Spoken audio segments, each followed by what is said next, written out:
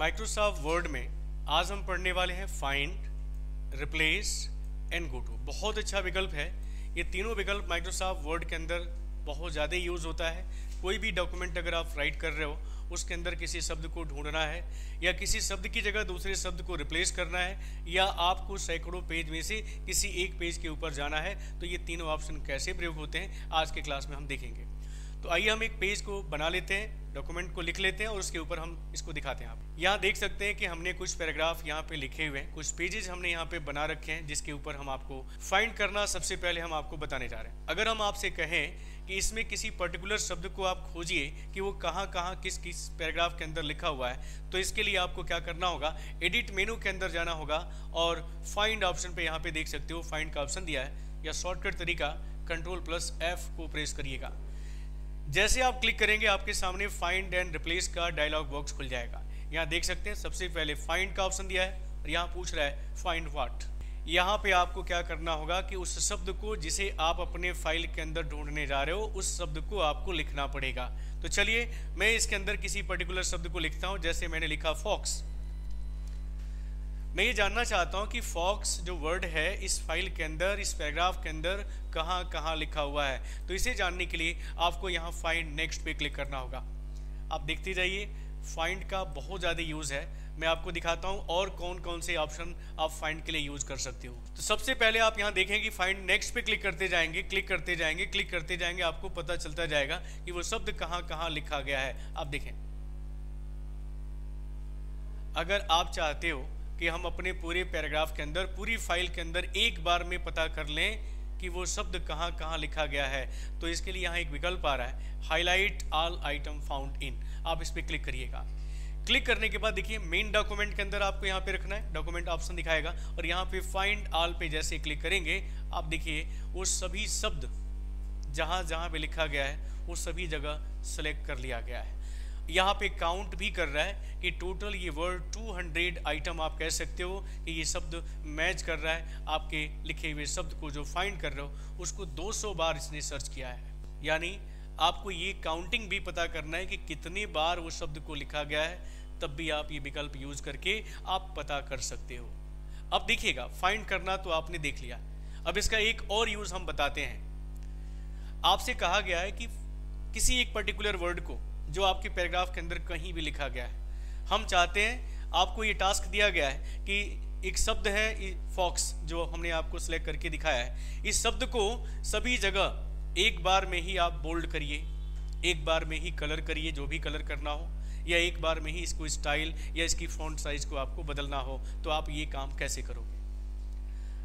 हमने कहा कि अगर ये शब्द आपको बोल्ड करना है साइज़ में बड़ा करना है, इसके स्टाइल को चेंज करना है तो हम एक एक क्या करेंगे? एक एक को सिलेक्ट करेंगे बोल्ड करेंगे साइज़ को यहाँ पे हम चेंज करते रह जाएँगे। इसमें काफ़ी समय लगेगा जी।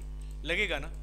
आप बताएँ, यहाँ से आप साइज़ को बड़ा करोगे, यहाँ से आप बोल्ड करोगे, जिसमें आपको कई घंटे का समय लग जाएगा। तो हम बता दें कि ये विकल्प अगर आपको यूज़ करना होगा, अगर ऐसा काम आपको मिला है कि किसी पर्टिकुलर शब्द को सभी जगह एक ही कलर एक ही स्टाइल एक ही साइज़ में आपको कर देना है तब आप एक कमांड यूज़ करिएगा। मैंने अभी बताया कि आप कंट्रोल प्लस एफ़ को प्रेस करिएगा और मैंने कहा कि शब्द को यहाँ पे यहाँ पे टाइप करके आप highlight all item found in पे क्लिक करके फाइंड आल कर दीजिएगा। ऐसा करते ही वो शब्द जहाँ जहाँ भी आपके पैराग्राफ के अंदर होगा, सभी जगह सेलेक्ट कर लिया जाएगा। और आपको पता है कि जब वो शब्द सेलेक्ट हो गया है तो हम फॉर्मेटिंग टूल बार के द्वारा जो है इसकी जो भी फॉन्ट साइज़ को रखना है, हम रख सकते हैं। बोल्ड करना है बोल्ड कर सकते हैं। कलर करना है, आप यहाँ पे फॉन्ट कलर के द्वारा कलर भी कर सकते हो। तो आप क्या देख रहे हो? आप देख रहे हो कि वो शब्द सभी जगह आपकी फ़ाइल के अंदर सेलेक्ट कर लिया गया था और उसको आपने फॉन्ट साइज़ भी चेंज किया, उसका फॉन्ट साइज़ भी आपने चेंज किया और उसका कलर भी चेंज किया। अगर यही काम आपको कहा जाए करने के लिए और अगर आप फाइंड ऑप्शन का प्रयोग नहीं कर पाते हो, नहीं जानते हो तो शायद ये काम आप घंटों में करोगे। क्योंकि एक एक शब्द को ढूंढना सेलेक्ट करना, उसके स्टाइल उसके कलर उसको साइज़ को बदलना बहुत ही मुश्किल काम होगा। जो आपने देखा कि फाइंड के द्वारा आपने ये काम सेकेंड्स में भी कर दिया है।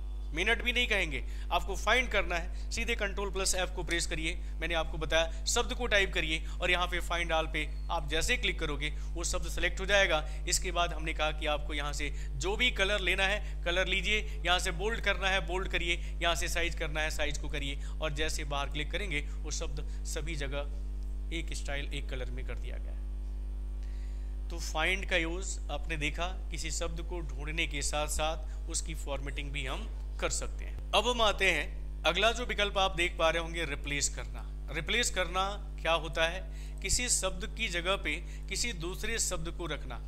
अब ये चीज़ कैसे आप यूज़ करोगे? जैसे, मान लीजिए कि जो फॉक्स शब्द हमने लिखा हुआ है, इस फॉक्स की जगह पे आपको किसी अन्य शब्द को रिप्लेस करना है।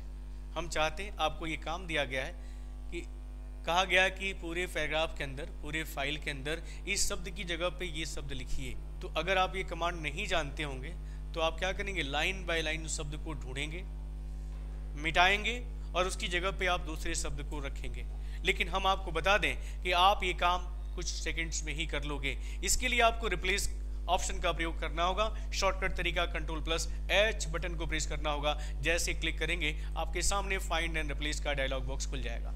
आप देख पा रहे हैं। इसके पहले हमने फाइंड के बारे में बताया है। अभी रिप्लेस का ऑप्शन दिखा रहा है। चूँकि हमने फाइंड में इस शब्द को फाइंड किया था, इसलिए रिप्लेस में वो पहले से ही लिखा हुआ आ रहा है। मान लीजिए हम चाहते हैं कि फॉक्स शब्द की जगह पे आपको कैट शब्द को रिप्लेस करना है। यानी जहाँ जहाँ अभी फॉक्स लिखा हुआ है, वहाँ पे हमें क्या करना है? कैट को रिप्लेस करना है। तो हम क्या करेंगे? यहाँ फाइंड वाट में जो पहले से लिखा हुआ है, जिसे हमें फाइंड करना है, उसको यहाँ पे हमें लिखना पड़ेगा। और रिप्लेस विथ में हमने कहा कि आपको लिखना होगा कैट अब देख सकते हैं रिप्लेस विथ यहाँ पे हमने कहा कैट और यहाँ देखिए, अब हम शुरू करते हैं, हम यहाँ से कर्सर को पहले रखते हैं, यहाँ पे क्लिक करते हैं और यहाँ देखिए फाइंड का ऑप्शन दिया है कि पहले वो फॉक्स को फाइंड करे। देखिए, पहली लाइन के अंदर इस शब्द को वो फाइंड कर रहा है। अगर आपको इस शब्द को रिप्लेस करना है तो आप सिंगल रिप्लेसमेंट यहाँ पे कर सकते हो। अगर आप चाहते हो किसी भी रिप्लेस करें तो रिप्लेस कर दें। अगर आप नहीं चाहते हो कि इसको रिप्लेस करें तो आप यहाँ फाइंड नेक्स्ट पे आगे बढ़ जाइए। देखिए, इसको छोड़ देगा। फिर रिप्लेस करना हो तो आप फिर से रिप्लेस करेंगे। ऐसे रिप्लेस करेंगे। और आप चाहते हो कि सभी जगह, एक ही बार में वो शब्द क्या हो फॉक्स की जगह पे कैट हो जाए। तो आपको क्या करना पड़ेगा? यहाँ पे रिप्लेस ऑल ऑप्शन पे जैसे क्लिक करेंगे, सभी जगह आप पाएँगे कि वो शब्द क्या हुआ है रिप्लेस हो चुका है। पहले मैंने चार शब्दों को सिलेक्ट करके रिप्लेस कर दिया था। अभी उसने 196 रिप्लेसमेंट किया है। यानी 200 वो वर्ड था। देखिए 196 रिप्लेसमेंट कर रहा है, क्योंकि पहले मैंने सिंगल सिंगल रिप्लेस किया था। तो इस ऑप्शन का प्रयोग करके हमने आपको बताया जाए कि आप किसी शब्द को ढूंढ कर दूसरे शब्द में बदल सकते हो। बहुत ही अच्छा विकल्प है। अगर आप इसको यूज़ करते हो तो काफ़ी समय की बचत आपकी हो जाएगी। अब देख सकते हैं, तीसरा विकल्प जो आता है, वो है आपका गो टू का। यानी गो टू का मतलब क्या है?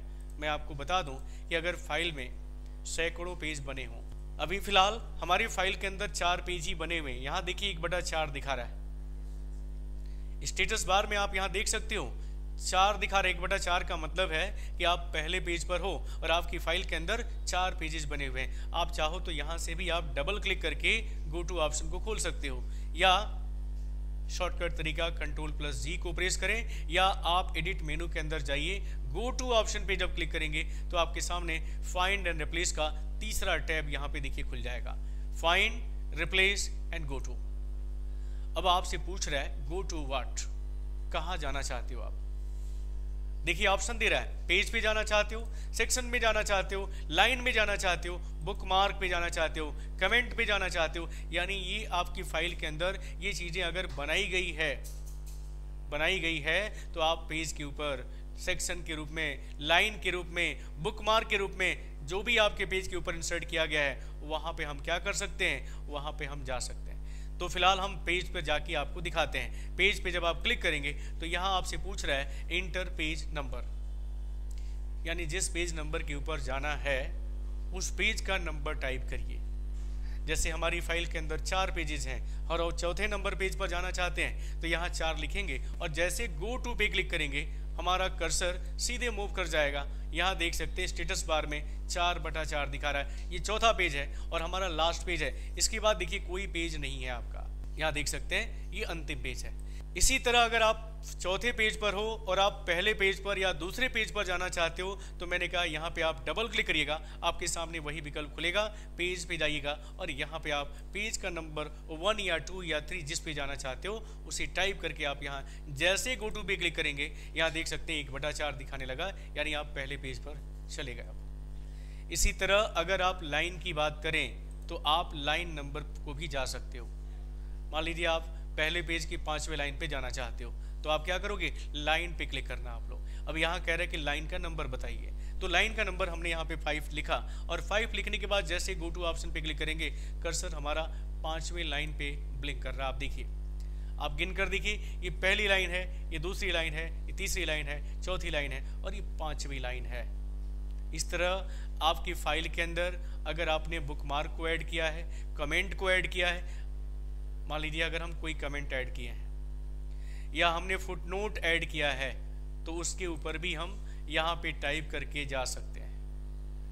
आगे चल के हम बताएँगे फुट नोट होता क्या है। तो फ़िलहाल आपने देखा कि आपकी फ़ाइल के अंदर अगर किसी शब्द को दूसरे शब्द में बदलना है, किसी शब्द को फाइंड करना है, या किसी पेज के ऊपर जाना है तो उसके लिए आपको ये तीन विकल्प हमने बताया, जो काफ़ी माइक्रोसॉफ्ट वर्ड के अंदर किसी भी डॉक्यूमेंट को बनाते समय सर्वाधिक प्रयोग होते हैं। तो उम्मीद है कि आपको आज का क्लास समझ में आया होगा।